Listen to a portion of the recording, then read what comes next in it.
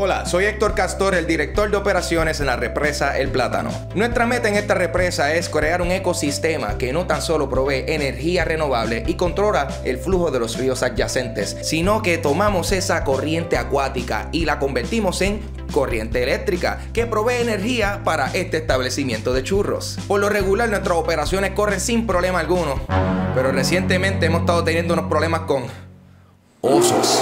Se caen en el río buscando peces y dañan la represa. Por suerte contamos con nuestro mejor empleado, quien está dispuesto a hacer reparos de la represa mientras brega con los osos y a veces hasta búhos. Disfruta de 12 niveles de labor física sin compensación monetaria. The Beaver Hero.